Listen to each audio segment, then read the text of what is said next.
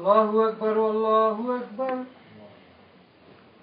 الله أكبر والله أكبر. أشهد أن لا إله إلا الله. أشهد أن لا إله إلا الله. أشهد أن محمد رسول الله. أشهد أن محمد رسول الله.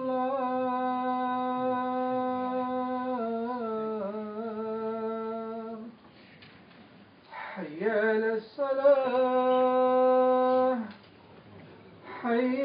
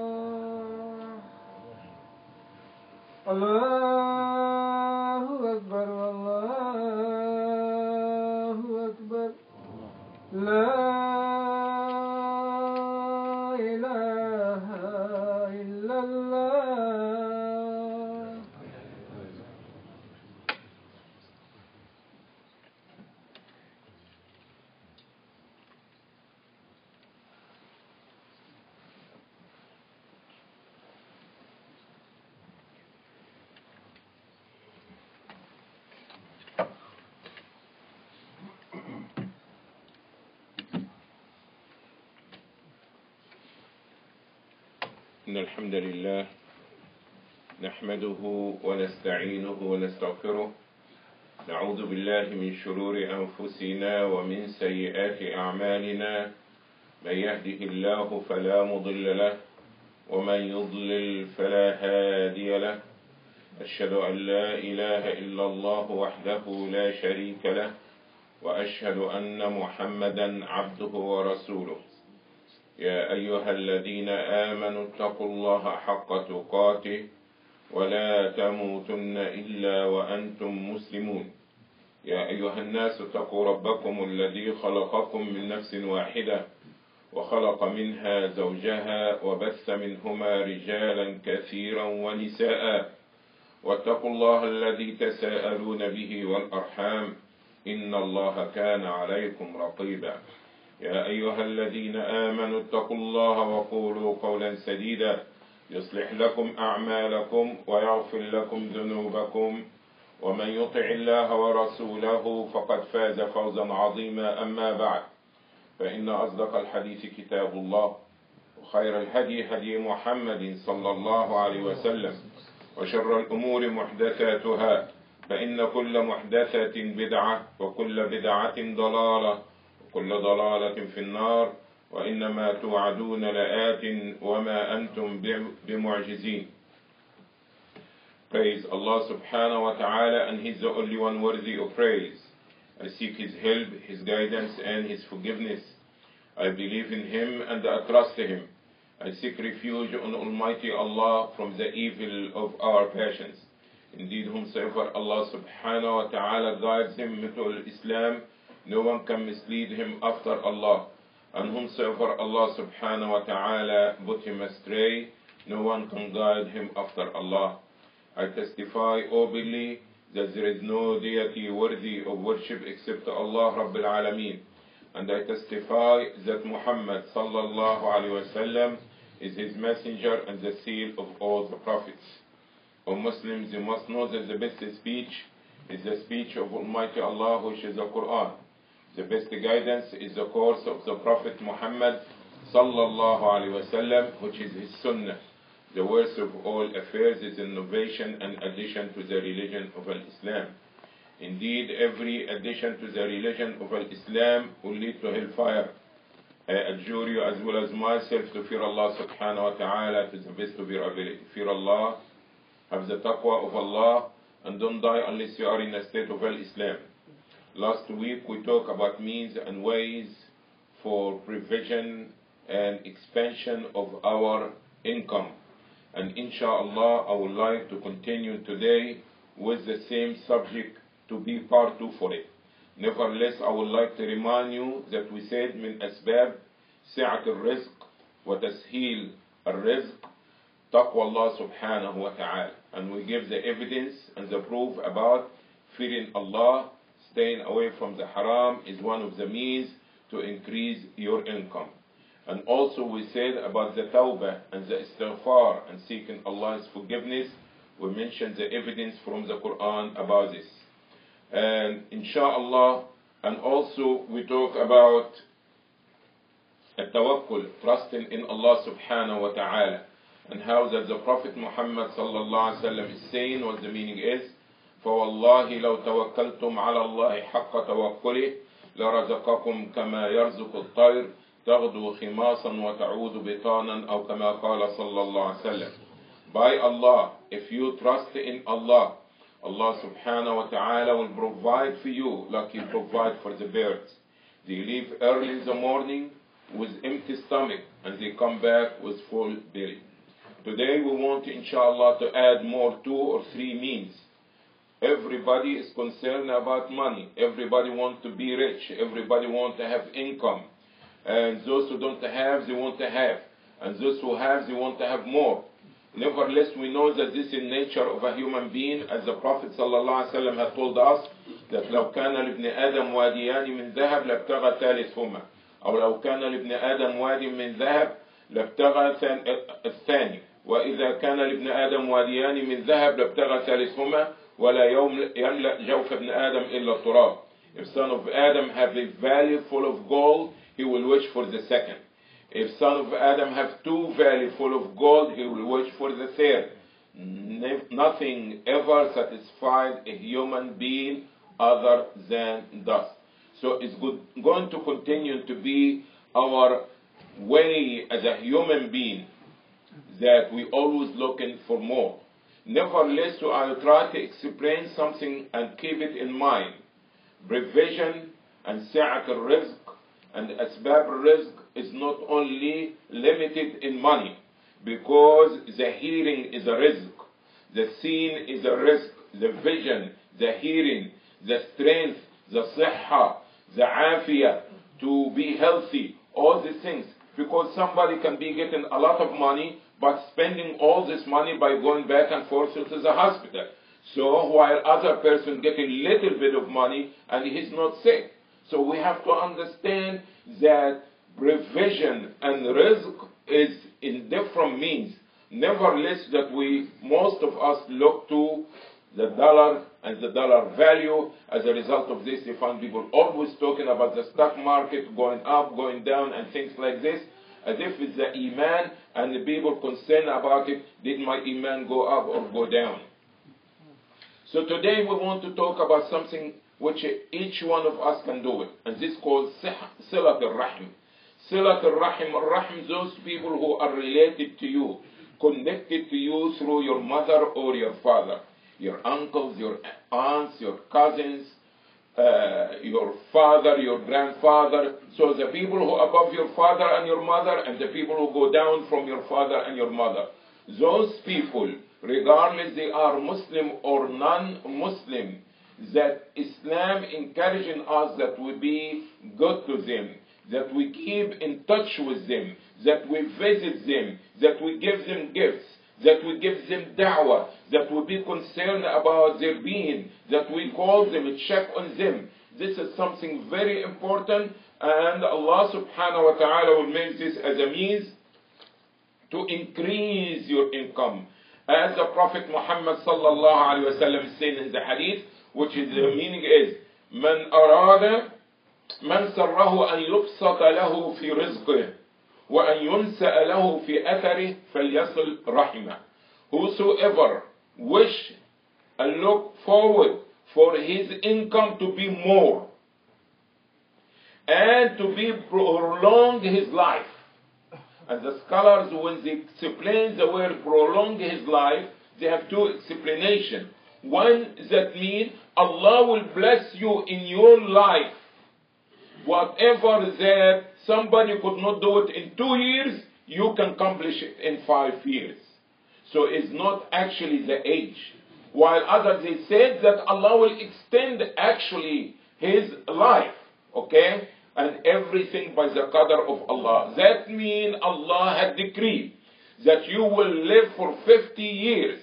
And after this also Allah decreed that you're going to be kind to your uncle, to your cousins, giving them food, caring for them. So Allah subhanahu wa ta'ala will give you more 10 years. Everything is recorded and nothing is changed from Umm al-Kitab. Nevertheless, the Prophet sallallahu alaihi wasallam said, for those who are eager and wishes for them to get more provision, more income, يبسط له في رزقه, to increase, to extend, extend it more, and وينسأ له في أجله, and for his life to be prolonged, let him do what? صلة الرحم. To have the family ties connected.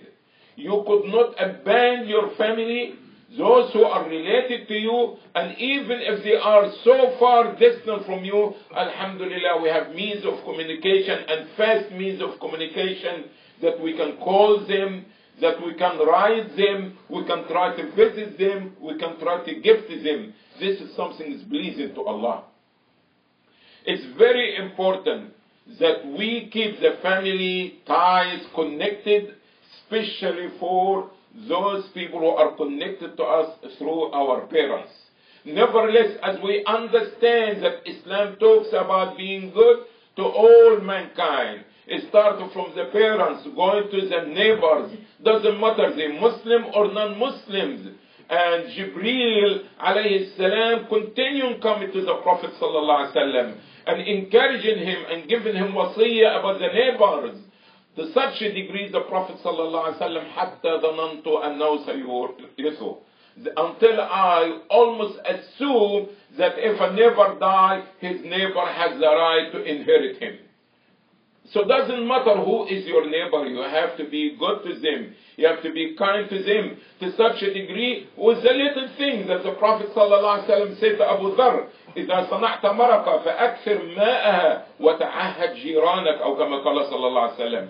If you make a soup, add more water so you can expand the soup so you can be able to give some and share with your neighbor. So Silat al-Rahim, one of the means to increase our rizq. Point number five, spending. Al-infaq fi sabilillah, to spend. And the Prophet sallallahu ﷺ telling us about the unseen. But we have to believe it because we believe that what Allah said in His book is true, and whatever the Prophet ﷺ is saying, he doesn't say it from his own desire. وَمَا يَنْطِقُ عَنِ الْهَوَى The Prophet of Allah sallallahu alaihi wasallam telling us about something of the unseen. And now I'm going to tell you about it. And you have to believe it because this is reality, because the Prophet sallallahu alaihi wasallam had informed us about it. The, the Prophet sallallahu alaihi wasallam is saying, ما من يوم يصبح العباد فيه إلا ملكان ينزلان فيقول أحدهما اللهم أعط منفقا خلفا ويقول الآخر اللهم أعط ممسكا تلفا No days that comes to human being every day that in the morning two angels will come down and their main job is to make dua. And we're talking about angels, the pure one. They are not sinners. And they making dua, asking Allah subhanahu wa ta'ala. One of these angels asking, Oh Allah, give replacement, give increasement, give back to those who spend in your cause. In fact, even if it's little bit, even if it's little bit, as the Prophet sallallahu alaihi wasallam is saying, اتق النار النار ولو بشق تمرة. Avoid hellfire even with its the smallest means that you got, half of a date. So never ever look down upon something you can give fi sabilillah or put it in the charity box or feeding a poor or a needy person, even if it's a half of a date. Doesn't matter how small it is. So these two angels, one of them making dua for you if you are one of those who's spending in the cause of Allah. And the other angel is saying what? Allahumma a'ti mumsikan talafa. Oh Allah, give destruction to the wealth of the person who is withholding is not given, he or she. You want to get more, you want to get increase in your rizq, spend in the cause of Allah. And Allah subhanahu wa ta'ala is saying in the hadith of Qudsi, أنفق أنفق علي. Spend, I'll spend in you. You spend according to your means. And Allah subhanahu wa ta'ala will spend in you according his means. And the means of Allah unlimited is unlimited. So the unlimited given to unlimited like him, but the limited is given to limited like him. But the unlimited give according his means, which is samawat wal ard, everything in his hand, as it says, تبارك الذي بيده الملك وهو على كل شيء قدير. Blessed is the one that the whole dominion, the heavens, the earth, the mountains, the land, the rain, everything in the hand of Allah. You are limited in your income. You are limited in what you can. You are limited with your, your self selfishness and greed and things like this. So by the time you want to give twenty dollars, by the time you go to the charity box, now a lot of thoughts came to your mind, and now the twenty dollars is not twenty anymore; it's five dollars. It's still good, but why? Because you're fighting a battle, as Allah Subhanahu wa Taala told us about the shaitan, يعدكم الفقر. this was shaitan promising us poverty. So a person who is limited in his income, and he also limited in what he given. But Allah subhanahu wa ta'ala say, I will spend in you when you spend. Spend on Allah's creation, the creator will spend in you. You give it to somebody like you, which is limited like you. But the unlimited one which Allah subhanahu wa ta'ala and his treasure, he will be the one who's spending in you directly. And you know that Allah subhanahu wa ta'ala is Al-Kareem, the most generous one. And when He gave, Allah subhanahu wa ta'ala has no limitation Even in our salah, even in our donation, in everything, you do something من جاء بالحسنة فله عشر أمثالها. مثل الذين ينفقون أموالهم في سبيل الله كمثل حبة أنبتت سبع سنابل في كل سنبلة مئة حب والله يضاعف لمن يشاء.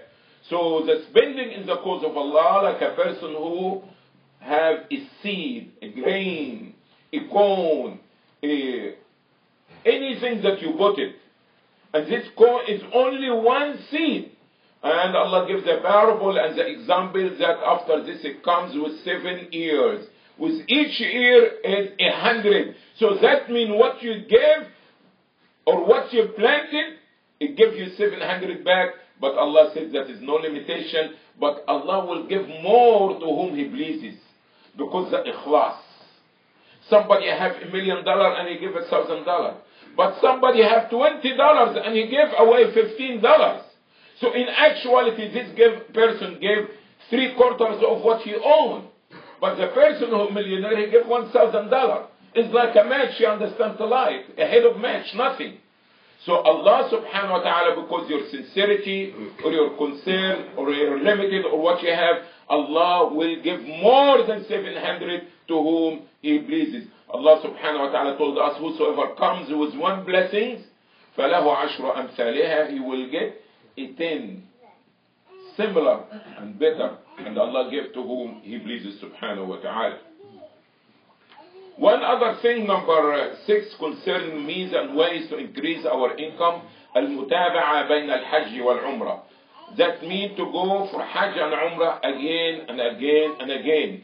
And we have a problem with some people that they visited all over United States and they visited all over the seven wonder of the world and they went here east and west everywhere and every year they spend the summer someplace but until now they did not make Hajj and Umrah. Slowing down from the obedience of Allah. To please Allah subhanahu wa ta'ala. We shouldn't do this. But Islam made it obligatory. Only upon those who have the means, but also for those who have the means, they should go. They should go at least once every five years. The Prophet ﷺ in this regard is saying, تابعوا بين الحج والعمرة فإنهما ينفيان الفقر والذنوب كما ينفي الكير خبث الحديد والذهب go for Umrah and Hajj again and again. Because Hajj and Umrah will clear, will remove, will remove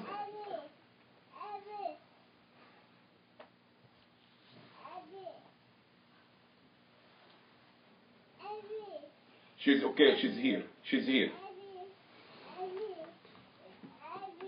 Umar. Okay. Because Hajj and Umrah, Abdullah, look Abdullah, shuf, come, here. Hajj and Umrah, it will remove the sins and the poverty. It will remove it. The Prophet ﷺ said exactly like the, the rust been removed by remover. When you got this removal of rust, it will remove the dust from the iron, from the gold, make it shine, make it good. So the same thing, poverty, it can be removed, it can be cleaned, but away from you by what? Going again for Hajj and Umrah, Hajj and Umrah. May Allah subhanahu wa ta'ala bless us to be among those who go for Hajj and Umrah again and again and again.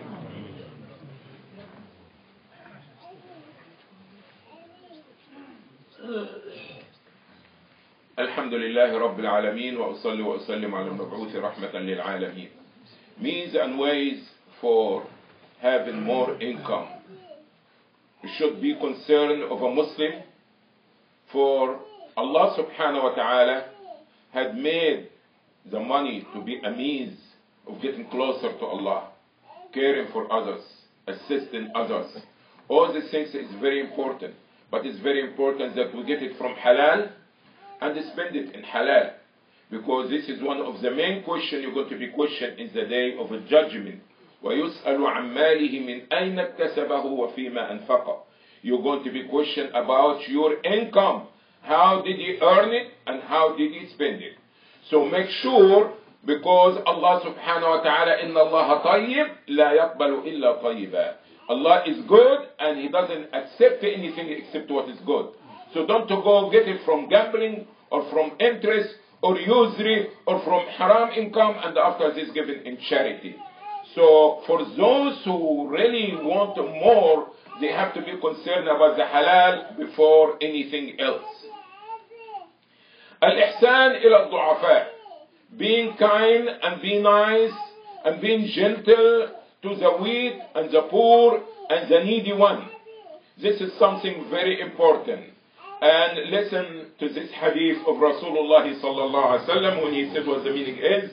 هل تنصرون وترزقون إلا بدعفائكم Do you only get victory and only you provided by Allah because the weak one among you. Some people among us in the Muslim community that we look down upon them for whatever reason. They don't have the same degree. They don't talk like us, the same language. Or their clothes is not fancy like your clothes. Or their shoes has a hole in it. Or they don't have the same color skin like you. For whatever reasons that you feel that these people are not in your status. This is what you call du'afa. They are weak in their status or in their financial condition, whatever. But the Prophet ﷺ telling us something very important. That's the nasr, the victory, and the help of Allah, as well as the income comes as a result of those weak among us. So don't think, you understand? You need this. You need these people in the community. You can look to the best restaurant and the best food and the best recipe with little bit salt that is missing it can spoil the whole meal. The weak one among us, we have to look upon them to be those Allah that made them as a means for the rahmah to fall in us, and the victory to accompany us, and also for money to come to us. How? It's not because they exist and this is, no, because that they are there and we have duty towards them that we try to provide for them, we try to care for them. Sometimes they be driving and see brother so and so walking. And you know this is the same brother, you just saw him in Jum'ah. That no doubt he's a Muslim. but you feel because the way how he dressed or whatever, you feel too much that you stop and slow down and come and say, brother, do you need a lift? Can I give you a ride? You keep going. Why? Because you don't feel that this person can be beside you in the car. Or that we walk in some place and we see this person that we don't want to say assalamu alaikum so nobody knows that I'm a Muslim or that I know this person or he may come and shake his hand my hand with him in front of the people and I feel I'm so superintendent of this place and now how I'm going so I try to walk the other side no إنما تنصرون وترزقون بضعفائكم in, indeed you get provided from Allah subhanahu wa ta'ala because the weak one among you and that the nasr and the victory that comes assistance of Allah is because the, because the weak ones that among you so let's have ihsan to them. Let's try to be kind to them. Let's try to look after their needs, inshallah. Inshallah, before I close, I want to make a few announcements. Tuesday at 6.30, Blast Tax will be the class. Every Tuesday. This is the only class will be going on during the daylights or the evening. And I know, of course, that some of us have excuses, okay? But I know that those people who, example from now, those people who do not have cars and live 10 and 15 miles away. And you know that 95% of you have cars. And those who are exempt also, those people have a cane or they have a, a, a crushed crutches, okay, and things like this, or wheelchair, and be surprised, those people whose wheelchair will be here before you with your fancy car. So, hopefully, inshallah, that we care. And listen, somebody said 6.30, brother, I just came back from work. Okay? Any time I'm going to give you is not going to be suitable for you. If you want to profile your soul, increase your iman, this is opportunity. I feel guilty, and Abdullah, I look, Abdullah, I feel guilty because now you understand people say, few people, actually two or three people, not a lot of people. Ask brothers, there is no more classes and what's going on? Because there is no customers, okay? There is no people who care. But believe me, you can leave your math class and you have to run to the next building, okay? For your chemistry class. And after the chemistry class, there is nine o'clock and it can be in the weekend and you're going to go. But because we don't care. The bottom line is, it's not because we don't have the time, that we don't have transportation, that we don't care. That Islam and Muslim and a mosque is for, for Jum'ah and this is. But this between you and Allah. You can take the horse to the water, but you could not make the horse drink. So I'm going to try, inshallah, to free my responsibility before Allah that I was given a class. Now whosoever show up, Alhamdulillah. Brother, but I didn't eat dinner, I want to sit and eat dinner. Okay, eat dinner and catch the last five minutes of the class. Make an effort. Make effort. If one class a week, this is not too much for you. And believe me, if your flight is six o'clock, if the meeting in Washington, if the meeting wherever it is, you're going to make it. But because you understand, I don't get too much from it. I know you may even know better than me. Okay? Come and sit in the mosque for 45 minutes.